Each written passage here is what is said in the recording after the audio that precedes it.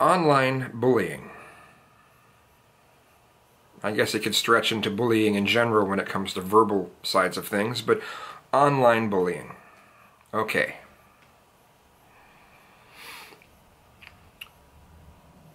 Definitions. Some of you will refuse to answer that question of what online bullying is. And you'll want to answer it with a question, well, who gets to decide? Well, people get to decide. Well, what gives them the right? Um, what gives anyone the right to define anything? so, um, but online bullying.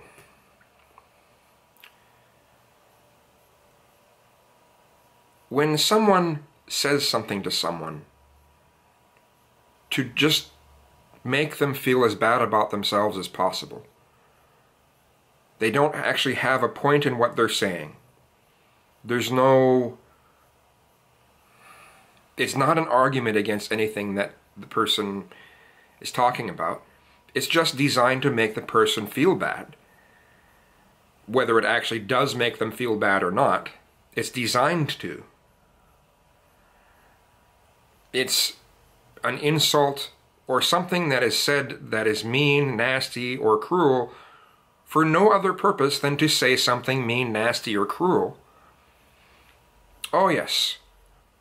There could be one purpose, and that's what it usually is used for when online bullying occurs.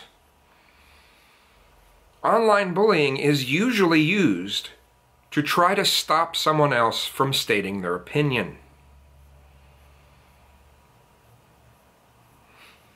This can be shaming someone for having an opinion. Sometimes it can be shaming someone for fitting a demographic. Oh, you're gay, so let's shame you for being gay. Oh, you're black. Let's shame you for being black. Oh, you're white and you're cisgendered. Oh, Die, white cis scum. Bullying. Oh, you're just a racist. Racist. You're just a bigot, bigot, bigot, bigot. And all these people step in. That's bullying. Those things are bullying. Now, what's ironic to me is that the people who are trying to argue that stopping, like someone deleting a comment that is just a bullying comment, is a violation of your free speech. It's rather ironic because it's like you're upset that someone is stopping you from saying something that will stop someone else from saying something. That's kind of twisted, if you ask me.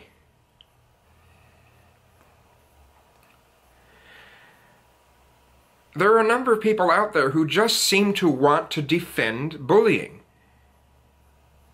And you want to make it impossible to talk about.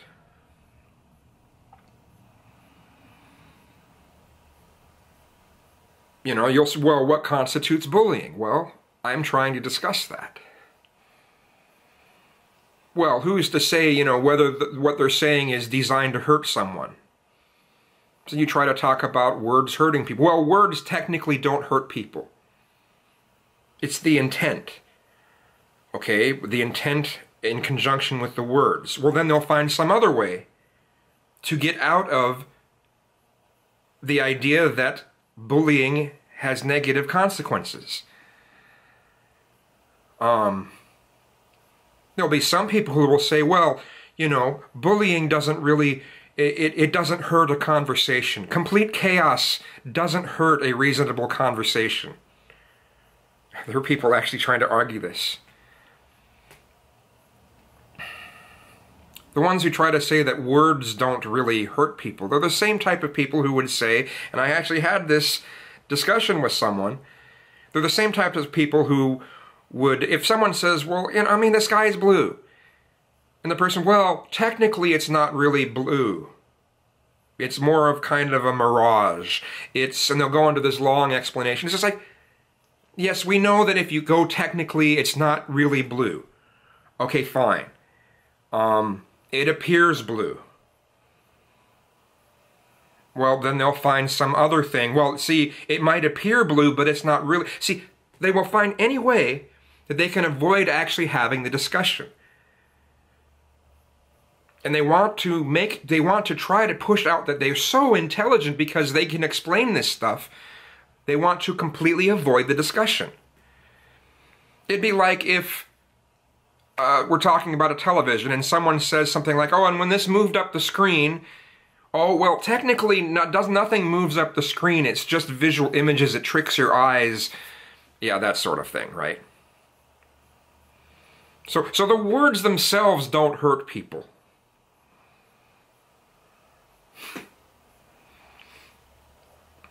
Yes, that's true. The words themselves don't hurt people. The intent has to be behind it.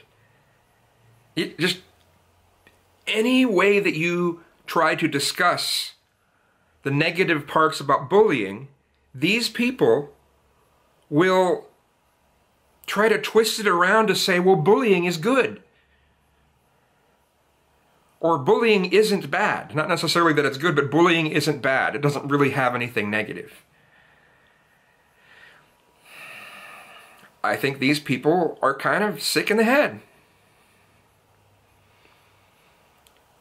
It is people trying to defend being like elementary school kids that are bullying someone on the playground. See, as I said before, we never really grow up.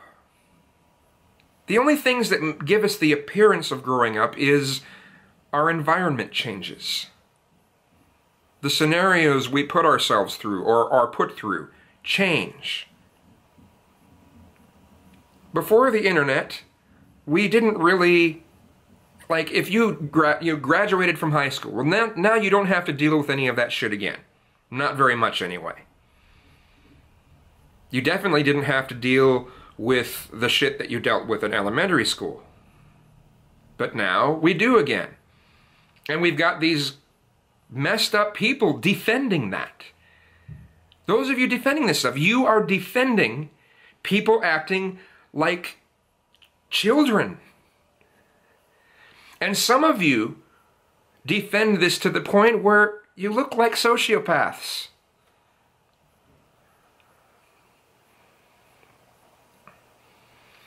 Okay, and again, it is really, really ironic that some of you would complain and, and claim that someone stopping you from bullying someone is violating your free speech when the reason why you're bullying them is to stop someone else from being able to state what they want.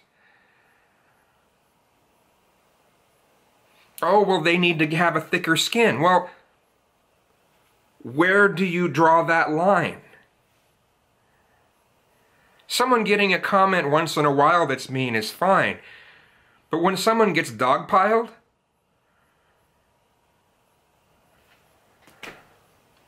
then if they turn off comments, you'll say they're violating your free speech.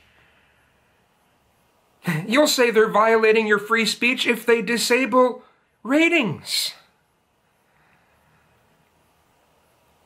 So the whole thing is some of you just want to defend your your desire to bully people. You want to spread hate, you want to spread negativity, you want to make people feel like shit about themselves. And you're you're using convoluted reasoning to do it.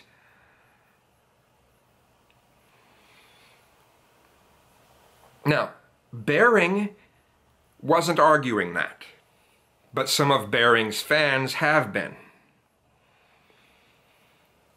And to those of Bearing's fans and other people who are who are saying that sort of shit, let me repeat something, okay? freedom of speech is referring to legal sides of things. If the government isn't fining you, if you are not being arrested for saying something, then you still have freedom of speech. If you're on somewhere like YouTube and someone blocks you, you still have the right to do whatever the hell you want on your channel.